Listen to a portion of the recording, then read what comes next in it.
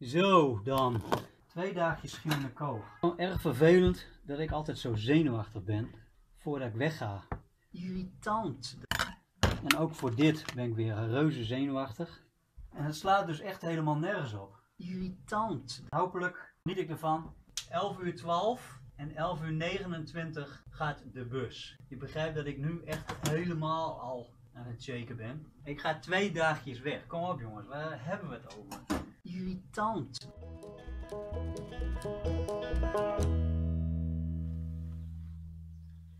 Nou, daar zijn we dan een soort van gearriveerd.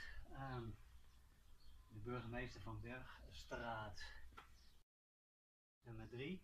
Nou, we zijn op Schier. Het is een leuk uh, slaapkamertje gewoon voor één persoon. Ik voel me minder verloren dan uh, in Boekelo. In Boekelo was ik echt in the middle of nowhere. Hier gewoon, maar dan wel met mensen. Er zijn uh, aardig wat vliegertjes op strand, aantal blowcards. Over blowcard gesproken. Ik heb net ook in zo'n gek ding gezeten. Ja, en kikken. Echt vet cool zo'n ding.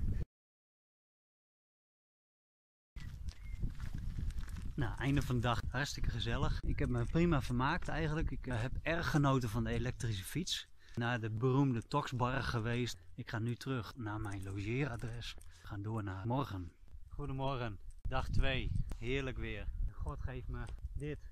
Duinen, zee en koeien om tussendoor te fietsen. Moet je eens even kijken, daar zijn ze hoor.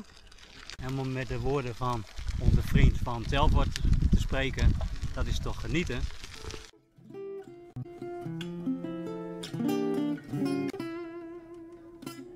En voor de Berkenplas was ik God ook heel dankbaar.